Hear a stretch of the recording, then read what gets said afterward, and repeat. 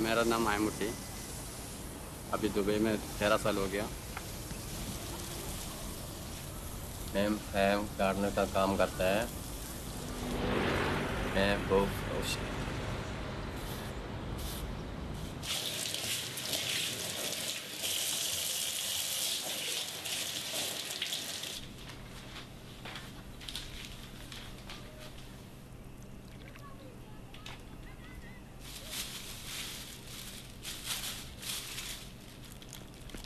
लोगों को काम करने का फ़ायदा नहीं, इधर दो टाइम आया, फ़ायदा आएगा मैं मैं आया, काम करने के लिए पैसा जमा करने के लिए, बच्चे को पैसा भेजने के लिए।